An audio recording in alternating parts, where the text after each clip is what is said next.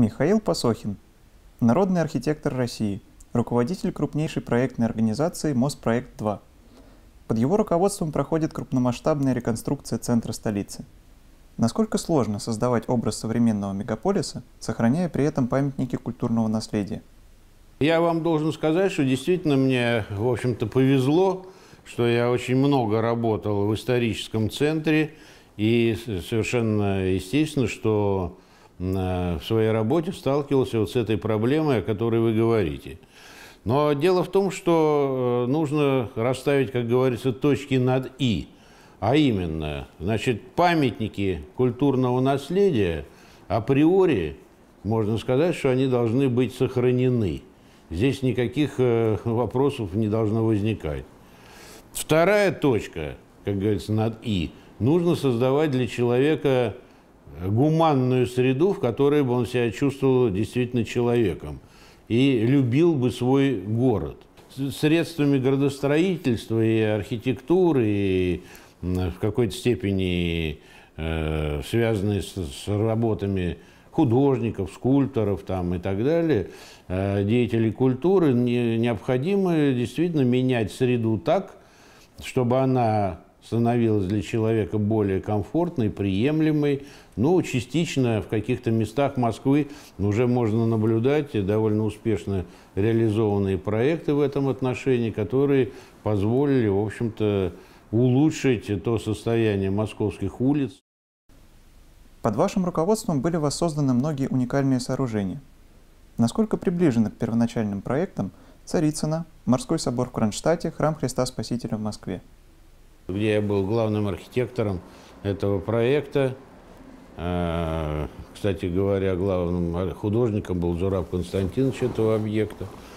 Вот. И э, надо сказать, что, э, в общем-то, стремление было максимально э, реализовать, в общем-то, тот облик, который был ранее у собора, да.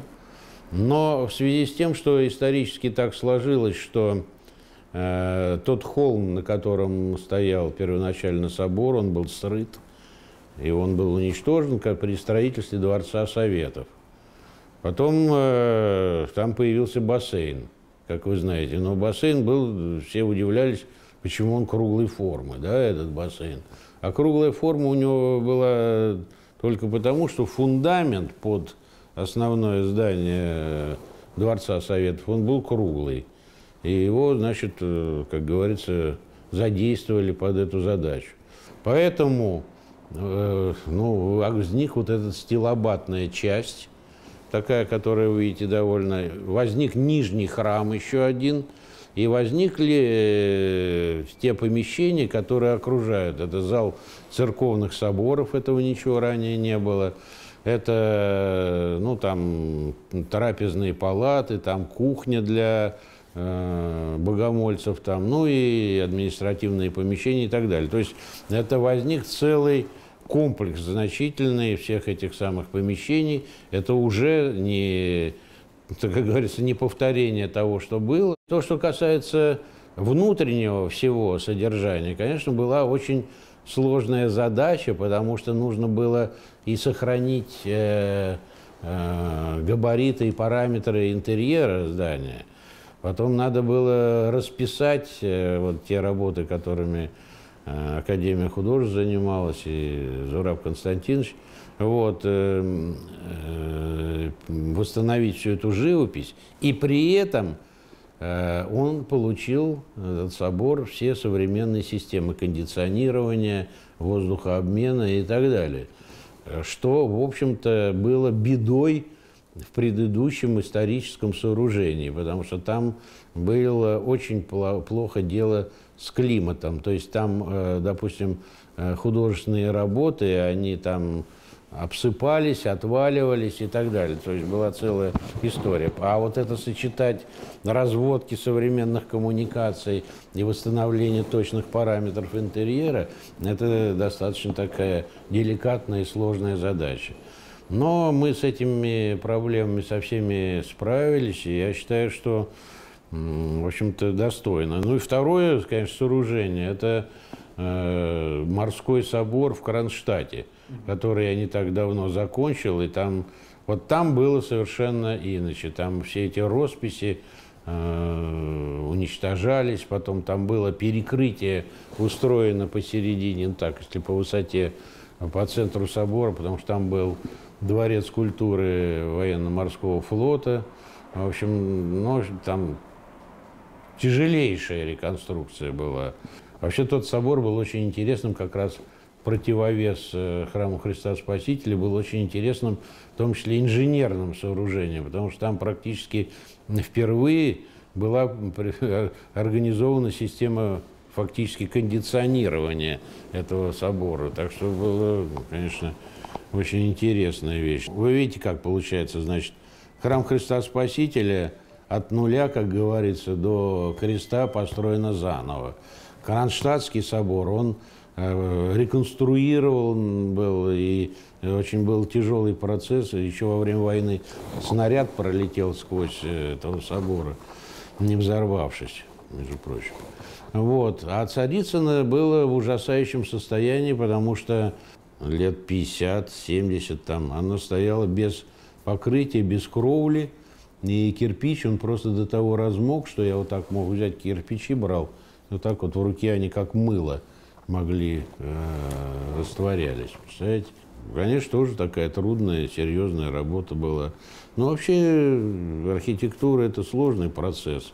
Здесь требуются такие качества, вот это для молодежи, я как раз могу сказать, которые требуют очень больших волевых усилий. То есть не всякий человек, у нас очень многие, вот мы с кем учились в институте и так далее – как говорится, сходили с этой палубы, потому что не выдерживали нагрузки и взаимоотношений со строителями, заказчиками и так далее, потому что надо выносить очень большое давление внешнее. Это не то, что ты, ну, понимаете, в каком-то смысле художник, вот он остается ему легче. Он полотно, холст, краски и один на один разговор потом со зрителем, да, если... А здесь ты постоянно борешься за каждую свою линию, за реализацию в натуре и так далее. Потому что на всякое предложение архитектора первое это нет. Давайте сделаем не так, а вот так. Ну вот. А то, что касается э, уже не памятников, а не памятников восстановления или реконструкции, то я всегда старался делать, в общем-то, достаточно такую архитектуру, э, ну, так скажем, современную. Можно ли выделить главенствующий стиль в современной архитектуре?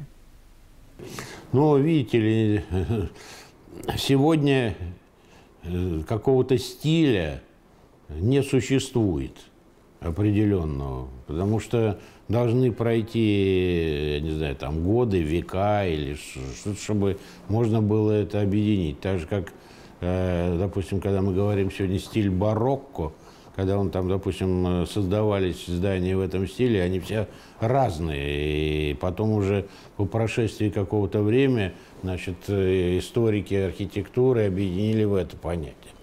Классицизм там или эпоха Возрождения тоже. Значит, все достаточно разное, но, как говорится, это было объединено в один стиль. Ну, сегодня я считаю, что нужно как я еще раз могу повторить, достигать индивидуальности, надо закладывать определенную идею в проект, а, потому что, в общем, во всем мире делается столько, что иногда что-то ты очень обрадуешься, нарисуешь э, эскиз и начнешь, а потом смотришь, приходит журнал какой-то архитектур, а это уже построено, понимаете? То есть такие, в общем, случаи тоже бывают. Естественно, немножко расстраиваешься, но может это и к лучшему. Ну вот, поэтому такого стиля определенного нет. Я каждый раз для конкретного места, с учетом и местоположения, и потребностей, так сказать, города, э, я формирую определенную идею и потом стараюсь добиться ее реализации. Каким вам видится идеальный город будущего? Ну, вы знаете, сейчас так все быстро развивается, что далекое будущее, э, о нем вообще говорить не приходится, понимаете? Потому что если бы мы с вами разговаривали там в конце 19 века, и то были, э, или это в начале 20 века, такие открытки, э, выпущенные «Москва будущего». Вы их, наверное, видели, очень интересные открытки – когда там трамваи ездили по небу, там какие-то кто-то летал, там и все в городе. Но постепенно это так и, знаете, получается много из этого. Возникают монорельсовые дороги, там то, все. Ну вот, и видите, там вертолеты будут использоваться в городе, когда их техническое состояние позволит, чтобы они не падали там на голову людям. Вот, и что в будущем? В будущем я вам скажу, что город должен вообще в идеале, человек и все, что движется, должны быть разделены в идеале. То есть мы, я не хочу и соприкасаться, чтобы мимо проезжала машина.